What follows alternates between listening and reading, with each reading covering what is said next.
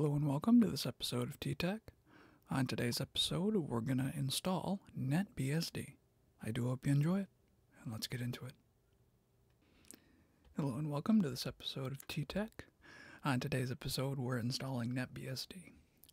So we're going to go ahead and hit enter here, or just number one, and that boots us up normally. And we'll go ahead and start to boot up the installation. And we get the cool green uh, text on this one. Okay, we want the installation messages in English, so we'll hit enter. Just use the arrow keys up and down to select.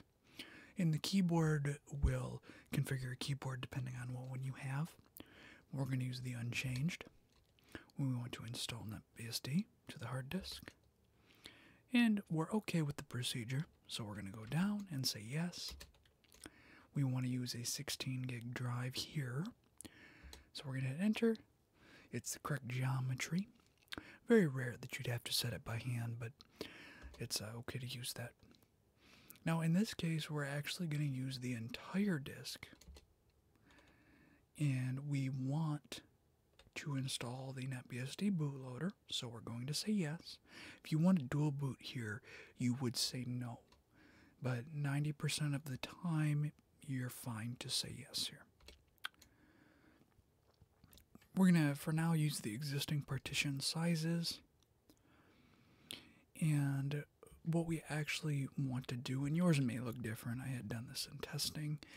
Um, what we want to do is uh, go ahead and to start, say zero on the size there and then go down to partition sizes okay. So we're going to do that on, on both of them. But I, I want to explain this part because it can get a little confusing. Okay, and we also want to say the same thing on this one. Say zero. Okay. Now, normally, when you zero them out, you have whole disk and you have NetBSD partition. Um, what I want to do is I have a 16 gig disk, and in in the computer I'm using the virtual machine, I have 256 megabytes of RAM. So just for this, I'm going to use double that. So you would take your disk size and subtract that. So we have on our main partition, where everything will be, we want to use the file system FFSV1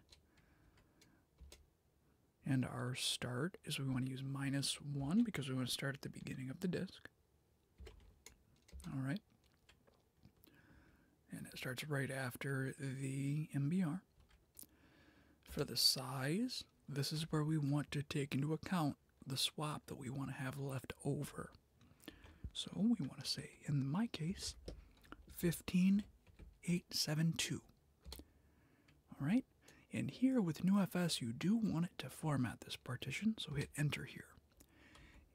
And we do want it to mount, so say yes. And the mount point is we want slash. Okay, that gets our main partition ready. So we're going to say partition size is okay.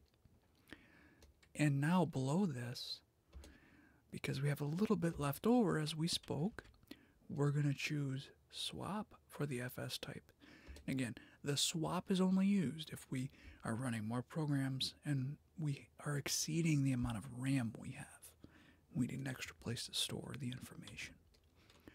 And for start here, we want to say actually A because we want to start at the end of that partition. Okay? So you see now it's ending right at our main partition. Okay? And for the size here, and we can actually use minus 1 to just use to the rest of the disk. But if you were needing more partitions, you wouldn't want to do it that way. We're going to use 512. Alright. Okay, so when you're done, you should have 15.8 gigabytes for our root, and we have 511 megabytes for our swap. Alright? So that should be fine for most cases. That's plenty of space for an installation. Okay, we'll keep the default disk name.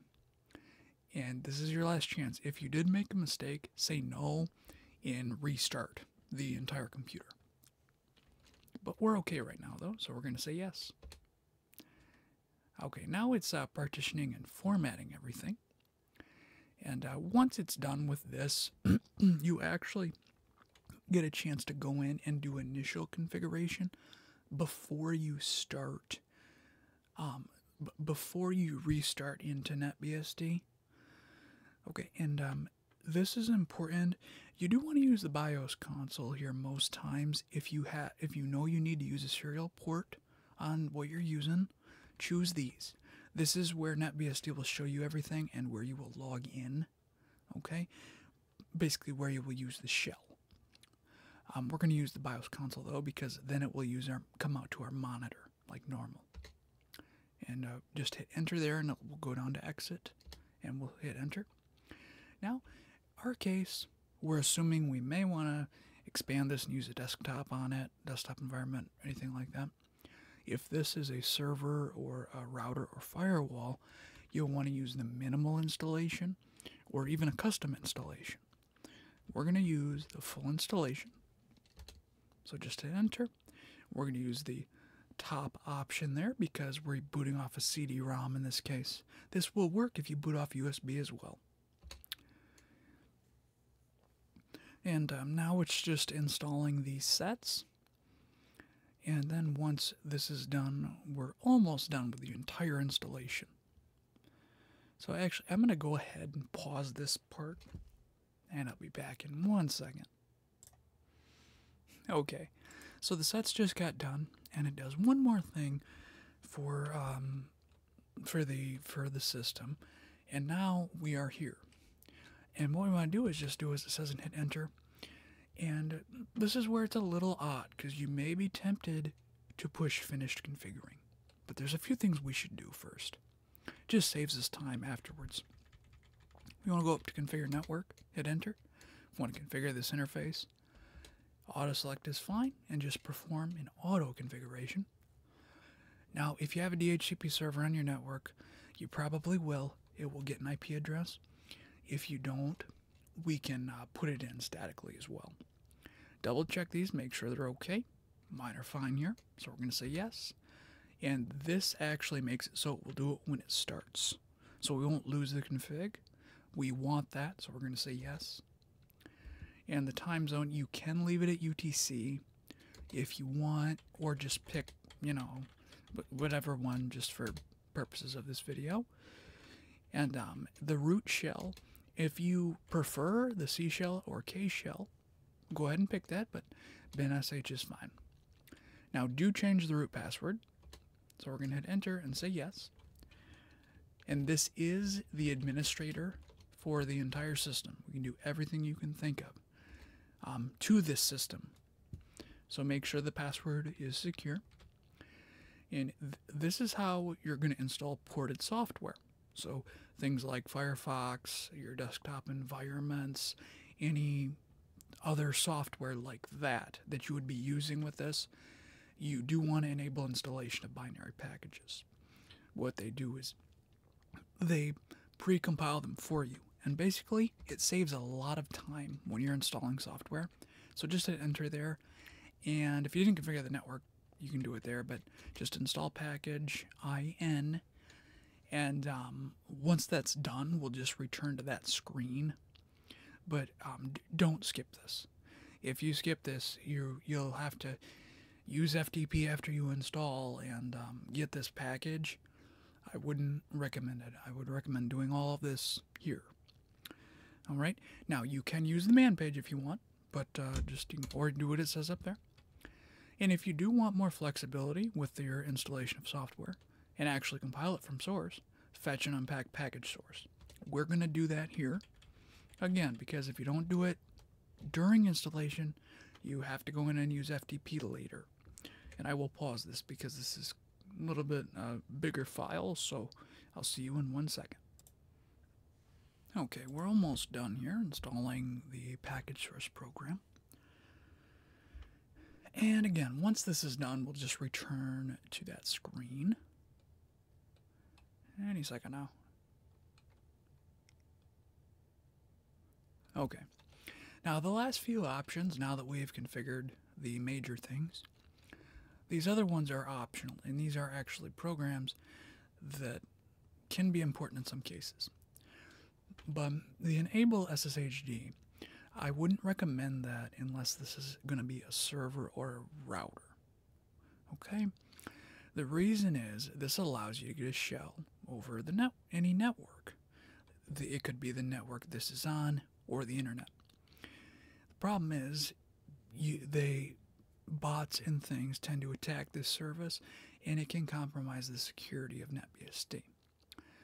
So you don't want to enable this unless you understand why you need it first. Okay? Um, NTPD, this, um, once NetBSD gets the correct time over network time protocol, this service can uh, send that time, a copy of it basically, to clients on the network. Now, this would be helpful in um, very secure environments where you don't want malicious uh, time being given to clients, so log files aren't skewed and things like that. But those would be very, very secure environments. And in this case, we don't have to worry about that. So we do want to run NTP date boot though, because we want our time to be correct. We just don't want to, want to necessarily serve it over the network. So we're going to hit enter, make sure it says yes. This is for DNS discovery. We're going to leave it off for the moment. And this is uh, would be, it would automatically start your desktop environment for you. You can feel free to turn it on, but I'm going to leave it off in this case. And this is for encryption and decryption of data on your partitions. You can go ahead and leave it on. Logical volume management you can leave off unless you need to do more advanced things with uh, your partition management and things like that, like RAID and things. Same thing with RAID frame, just leave it on. If you, if you do need it, it will be there for you. If you don't, it's it's okay. It's not hurting anything. Okay, now we do want to add a user though. We want a separate one. So we're going to say TTEC, and we do want to add us to the wheel group. If we don't do this, we have to log out and log directly in as root to do anything that needs administrative privileges. So we're going to say yes. The shell bin sh is fine. Make sure the password is separate from root's password. And at this point, we're going to say finished configuring now that we've done all of the major things. Okay, we're going to hit enter to continue. And uh, this can be a little confusing, but you actually have to go down to reboot the computer after it restarts the installation program. All right, at this point, we're going to hit that. Make sure you take the disk out of the drive. And we, we made it that time. Sometimes you're not fast enough and it will reboot the installation. Okay, now we're uh, booting back up and um, we'll just end up at the login prompt. and that was what NTP date did there. If we didn't have that, it wouldn't set the time on boot. And a few more um, things it's going to do. Okay. And we can log in as TTEC now, or whatever user you gave during the installation. Let's run top real quick. And uh, this is a system monitor. And um, the, the system is, is up and running at this point. It's a very easy system to use. And uh, you will notice the 512 megabytes of swap. And if we do df-h, there is our partition, dev wd0a, which is 15 gigs. Only 1.9 of it is used. We have 12 available. And um, yeah. So the last thing I want to show you is uh, if we use su and then we type root's password, okay? Make sure to type the correct one, though. If, if I can remember it. Okay. Um, now we're logged in as root. And we can run things like package nd uh, in package in update. That is a tongue twister. And um, let it update the the packaging system for us. Um, but anyway, it it would just update that, and now it's updated. The other thing I want to show you is if you go into etcrc.conf, this is where your main configuration is. The thing I want you to understand is if you want to set a static IP address, you can comment these out. These are for DHCP. And um, you can do ifconfig underscore WM0 or whatever your network interface is called, because yours may be different. But we want to do init for an IPv4 address. On my network, I'm going to use 192.168.0.1, and then we're going to say netmask slash 24 is fine. And then we're going to say default route equals, and this will equal your default gateway. Okay, and then we're going to hold shift and tap Z twice, and then run etc rc.d network restart. And then we can use ifconfig to double check ourselves. Okay, we're all set. After we put the ifconfig uh, configuration in there in rcconf, we want to go to etc resolve and in this case I've already put them in, but if you're using static, you have to add them here. If you know you want to stay with static, use ch flags schg etc resolve conf. Now, if we try to edit the file at all, if I try to delete this line, even though I'm root, it doesn't allow me to do that. Now, if for some reason you don't want that, use ch flags no schg etc resolve conf and that turns them off for you. The file there, the permission. So if we try to do the same thing, delete that line, save the file, now we can do that. But again, we'll just close that back up. And most times, unless you rerun the DHCP client on boot, the file will not change, so you don't necessarily need the flags, but that's just my preference. But with all that, I'm Tyler with T-Tech. I do hope you found this video helpful, and have a very nice day.